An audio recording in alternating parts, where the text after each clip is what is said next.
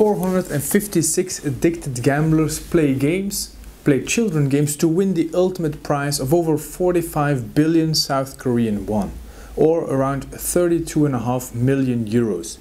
While this show is very entertaining and it is on the worldwide top charts, it hints to the real debt crisis that is omnipresent for the Korean youth. A financial drama a lot of people got sucked into and from which there is no way out. What's up everyone, my name is Joris, welcome back to my finance channel. The new Netflix series Squid Game is extremely popular all around the world, with over 100 million viewers in the first month, breaking previous records of Bridgerton and Casa de Papel. The series is based on the current economical crisis in South Korea. It shows us the sad truth South Koreans are struggling with at the moment a period in time where life continues to become more and more expensive and income is stagnant. It looks like there is no way to fix this in the near future and it discourages the younger generation. The story of the series follows a handful of people with huge debt burdens. They try to find a way to win the money to pay off their debt. The desperation of the contestants to get out of debt is real and it will force people to do things they don't really want to do. Ever since the 1997 Asian financial crisis, the spending habits of South Koreans have changed drastically. Back then, in the months and years after the Asian crisis, the government encourages the people to spend lots of money to get the economy back on track. There were even tax breaks for credit card payments. This encouragement helped the economy, but it also shifted the spending habits of the inhabitants. Nowadays, over 40% of the South Korean gross domestic product is spending by credit cards. So much higher than, for example, the United States, which are notorious credit card spenders.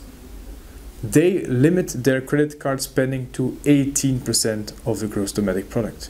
South Korean credit card debt, student loans, car loans, home mortgages, and other loans are growing a lot faster than household income people are taking on more and more debt just to pay off original loans. The problem with the huge and increasing debt has multiple origins. For starters, it is very hard to find a job in South Korea. Around 11% of people aged 15 to 24 is unemployed, a much higher number than other countries like Mexico and the Czech Republic. Further, because of poor credit scores, banks reject a lot of people, giving them no access to loans for mortgages or to simply pay off their debt. And lastly, but definitely not least, the huge gambling addiction that is present in South Korea. Both ordinary gambling as well as online stock market trading. People lend money to feed their gambling and investing addictions in the hopes of getting a higher return on their investments or gambles than they would have been paying in interest having no job, not being able to get a loan from the banks and losing money left and right, it forces people to turn to private lenders and loan sharks who can ask up to 40% of interest on loaned capital.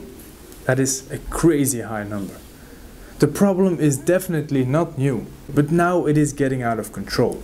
In recent years, Korean household debt has risen sharply to over 100% of its gross domestic product, the highest in all of Asia.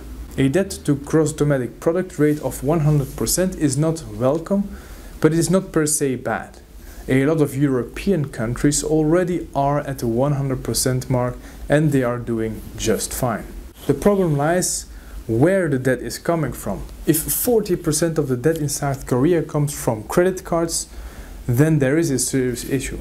Credit card interest rates are high and default rates will rise if people continue to spend more and don't earn more, causing more and more problems. It is a slippery slope.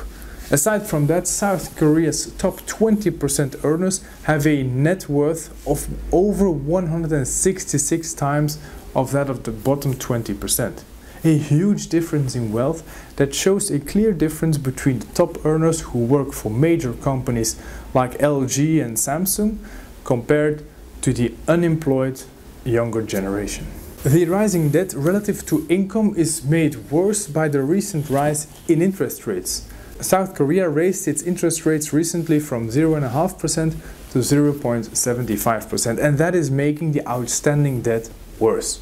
On top of all that, the boom in housing prices in South Korea is making it impossible for the average Joe to buy a place to live. With an average property price of 629,000 euros and an average salary after taxes of 22,800 euros, it is an impossible feat to buy something. The numbers just don't add up. Renting is the only way to go. With an average wage of 1,900 euros per month and a rent price of one single bedroom apartment of 700 euros and higher, a lot of your monthly wages go directly towards housing. If we then only consider the bottom 50%, the income drops down to around 1,400 euros after taxes.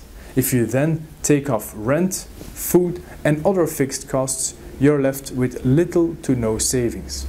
All these financial disadvantages cause a huge problem in South Korea. And this exact problem is the inspiration for the Squid Game series.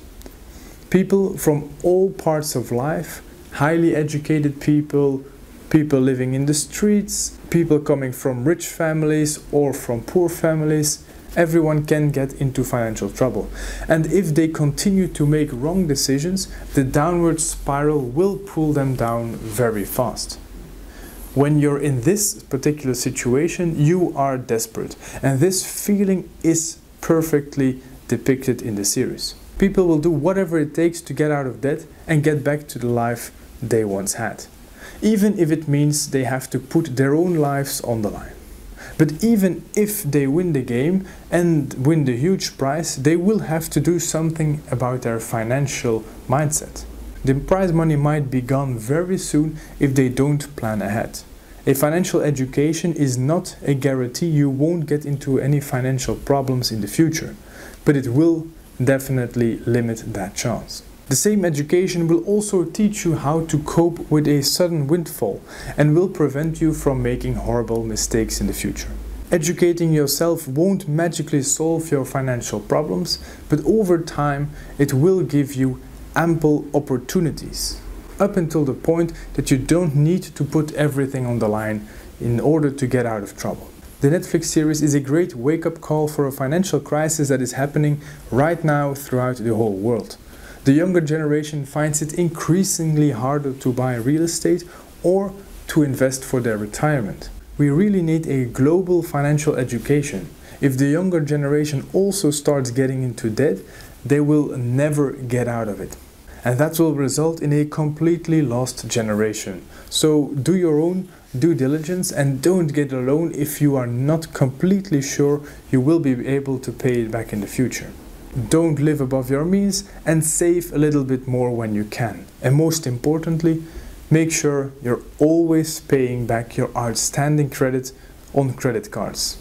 Be smart with your money. If you've liked this analysis of a TV series, please let me know in the comments below. I'm thinking of doing more of these videos in the future, so please let me know what you think. Don't forget to like the video for the YouTube algorithm and subscribe to the channel if you've not done that already. I thank you very much for watching and I will see you in the next one.